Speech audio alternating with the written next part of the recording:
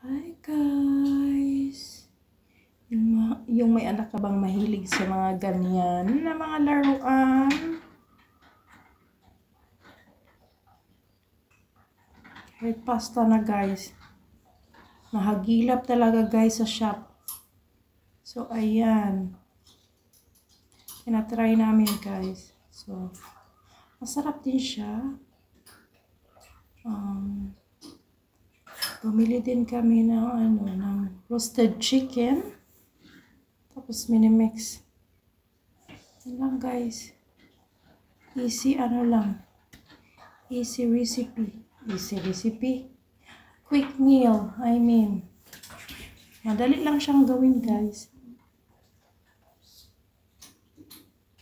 Yan. Mahilig din kasi itong mga anak ko sa pasta guys. Mahilig sila sa pasta, spaghetti, mga ganyan.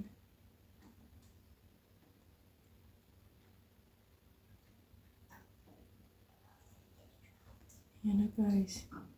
Ubus na yata yung ano natin. La.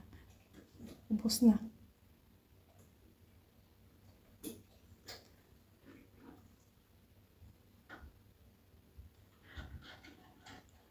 Yan guys, happy eating.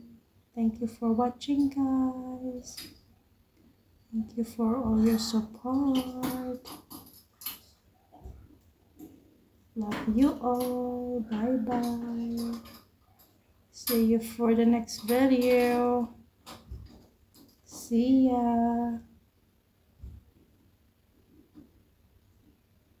So guys. Ready to eat. Masarap siya guys. Subukan niyo pag ano, subukan niyo to guys. Masarap siya.